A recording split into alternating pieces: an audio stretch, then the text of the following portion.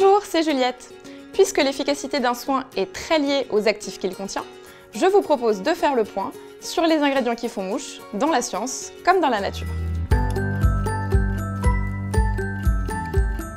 La première chose que l'on trouve dans la nature, ce sont les bons corps gras, les huiles, les cires, les beurres végétaux.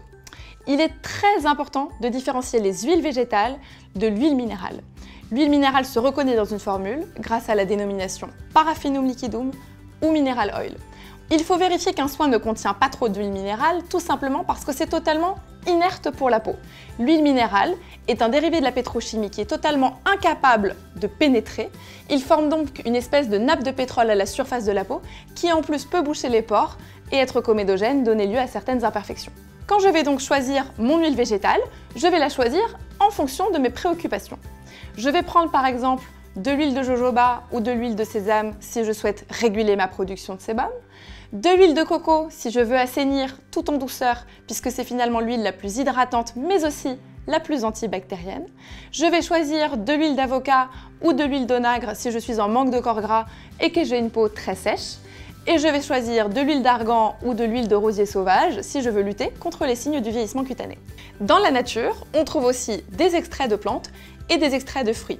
Alors là, il est impossible de dresser euh, une liste exhaustive, mais parmi les principaux, on connaît tous la rose, qui est reconnue pour ses propriétés anti-âge et son effet sur l'éclat du teint, l'avoine, la camomille, l'aloe vera, qui sont réputées pour leurs propriétés très apaisantes. Il y a aussi dans la nature des acides de fruits, qui sont des petites molécules Pac-Man, qui vont venir grignoter les liaisons entre les cellules mortes pour les décoller en douceur par exemple l'acide glycolique. Enfin, on trouve dans la nature les huiles essentielles, que l'on connaît tous, qui sont des ingrédients réputés pour être très efficaces, mais qui sont aussi très stimulants et donc pas forcément très bien tolérés par tous les types de peau. La chimie, elle, permet de synthétiser des ingrédients très high-tech que l'on retrouve généralement dans vos soins anti-âge.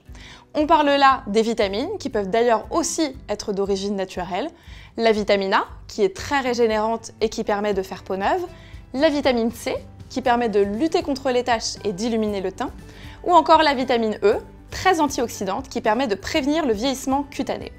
Dans les ingrédients high-tech, on retrouve aussi le rétinol, très régénérant lui aussi, qui va exfolier et permettre de faire venir à la surface une couche de peau lisse et neuve, les peptides, qui vont booster la production de collagène et agir ainsi sur la fermeté de la peau, ou encore l'acide hyaluronique, une molécule éponge capable de capter mille fois son poids en eau, qui va donc repulper instantanément la peau. J'espère que cette vidéo vous a plu. N'hésitez pas à vous abonner à la chaîne du L et je vous dis à très vite pour d'autres conseils beauté. A bientôt